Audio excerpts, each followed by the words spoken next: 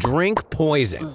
The human body can adapt to some poisons and stop reacting to them with symptoms of poisoning. Their effects may not manifest, no nausea or dizziness. However, the increased strain on the organs still has negative consequences, which accumulate and can lead to early death. For example, nicotine in cigarettes is a weak poison, which a person gradually becomes accustomed. Nicotine slowly but surely destroys the body. Its rap sheet includes arterial hypertension and other heart diseases, oral diseases, skin conditions, asthma, and so on. In fact, getting used to poisons is not training the body, but rather the loss of the body's productive reflexes. So, while taking poisons, one can live for a long time, but poorly.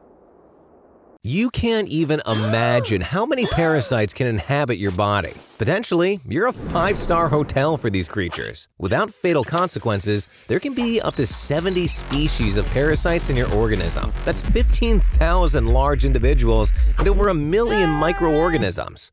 There can be around 500 roundworms alone, with a total length of about 160 yards. And remember, they're constantly reproducing.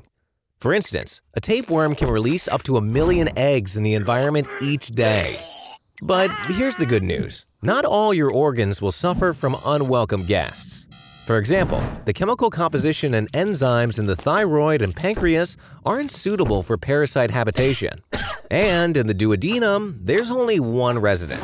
It can reach up to 39 feet in length, occupying up to 10% of the entire organ. So don't forget to wash your hands. What to do if you get bitten by a malaria mosquito? Malaria claims the lives of 600,000 people every year. If within two weeks after the bite you don't feel fever or headaches, don't rush to rejoice. The incubation period of the disease can last up to three years. But when malaria manifests, it can bring your life to the grave within 24 hours. Quinine is most commonly used to treat malaria. It's an alkaloid found in the bark of the cinchona tree with a strong, bitter taste. While it treats malaria, it can also cause ringing in the ears, vomiting, and insomnia.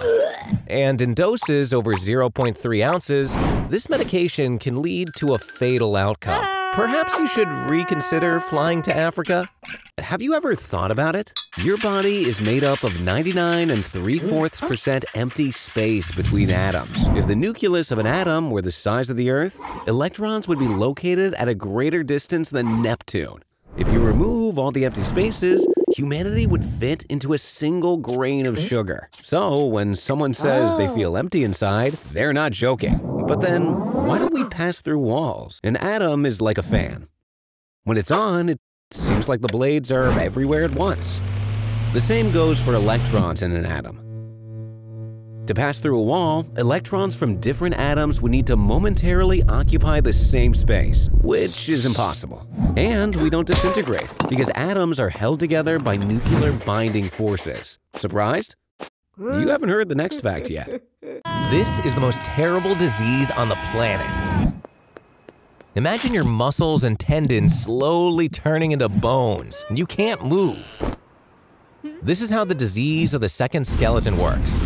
No more than 1,000 people in the world suffer from this rare genetic disease.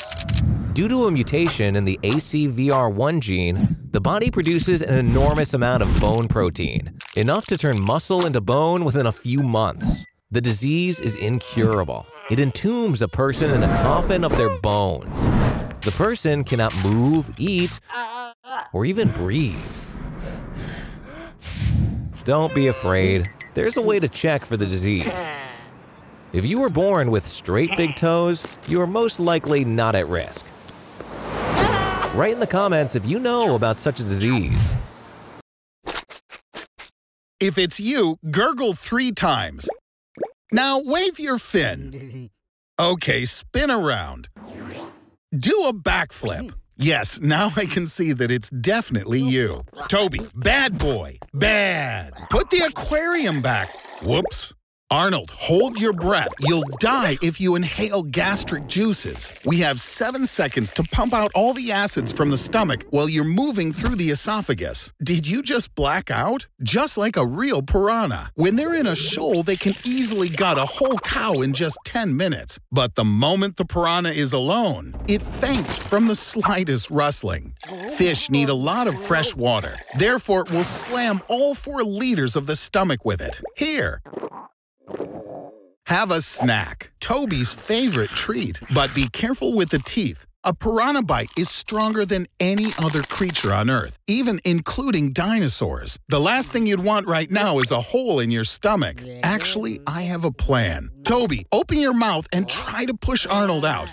Arnold, you go swim to the exit. Come on, guys, do it together. Arnold, you seem to have confused the entrance with the exit. Turn off your Google Maps and start crawling. Toby, you keep trying to push him out. You won't be able to get out of there dry. Now, where did I put my five liter enema bag? Oh, here it is. That's better. Now you just have to swim for about four meters. Crikey, the things you've been putting in your mouth. I haven't seen a Tamagotchi since the 90s. The water's almost finished. Paddle to the light.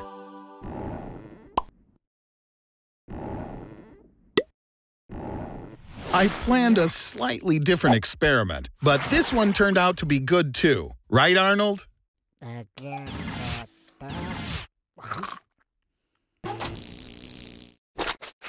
I've always wondered, how many people can the train eater swallow at once?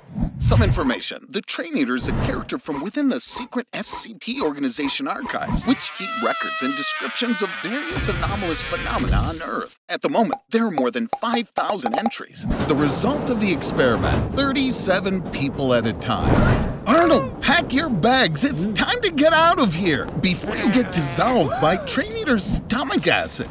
Just ah. jumping out of a train at high speed is a bad idea. But you're not on the train. You're in the stomach. Let's get the gag reflex going and get you out of here. Hint, Arnold, try tickling the seats. Like this life hack, how to get out of Train Eater. And now, how to get back home.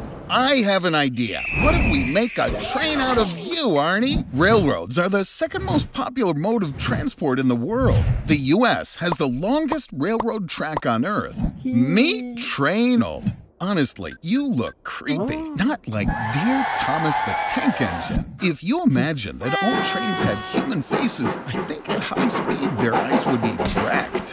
Hurry, Arnold! At night, you can be attacked by the monster train Choo Choo Charles. The protagonist of the horror game of the same name is a monster that appeared mysteriously from the mines where they were digging too deep. It feeds on animals and people there's a legend that this monster has been living for millennia. Push those pistons, Arnold! Wow, you weren't even stopped by Mr. Beast with his experiment. As you can see, defeating Choo Choo Charles ain't so easy. Arnold, this road leads straight to the cliff. This is your chance. Make Charles fall down there. All you need to do is slow down. Brake!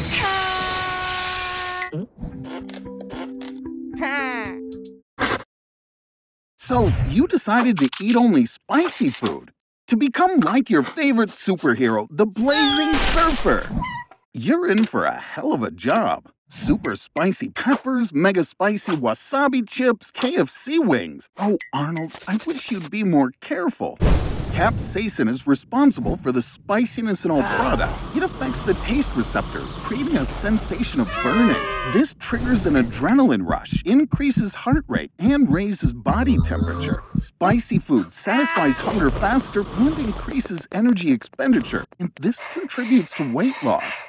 But an excess of spicy food can provoke gastritis. Spicy food doesn't cause stomach diseases. The cause is harmful bacteria that enter the body with raw food products. If the illness isn't progressing, consuming spicy food can even help prevent the spread of bacteria. But remember, if spicy food causes discomfort, minimize its consumption. Keep smiling, Arnold. After all, spicy dishes contribute to the release of the happiness hormone. After coming into contact with the pepper, under no circumstances should you rub your eyes. You'll get a mucous membrane burn. And don't attempt to wash it down with water, as this will actually intensify the burning sensation. Milk can help. The citric acid present in milk, lemon, or orange can wash away capsaicin from the receptors and provide relief. Come on, Arnold, you can do it! Your idol is watching you. That's it!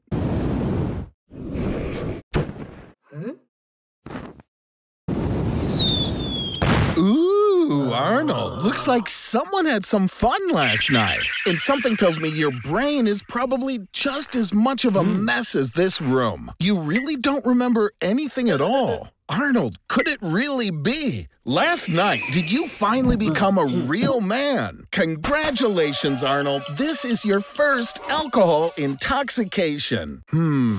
Now, where's your tooth? Anything ring a bell? Nothing? No? Arnold, you didn't know this, but drinking too much leads to unnecessary aggression, and you certainly paid a price for that. Ooh, you found a solution. Time to take aspirin. Oh, wait, no. You forgot to restock your first aid kit. But really, Arnold, all these troubles are just in your head. Mineral water is a miraculous thing. You're dehydrated. Just need to replenish the missing water from your body. What's with the jacuzzi? I totally understand if you want to quit drinking after last night, but not water. You didn't think it'd be that easy to escape your hangover, did you? Someone call Spielberg. We have a plot for a new Jaws. What is it, Arnold? Are you calling an ambulance? Ah, you decided to recharge your strength with delicious pizza. But you forgot about one thing booze ah. breath. These are the decay products of ethanol that appear in the body after the liver has taken over its processing. One of them, mm-hmm. acetic acid, has a particularly nasty smell. Hey, Arnold, you sure you still want to hmm. sleep after eating? Sadly, you can forget about sleep.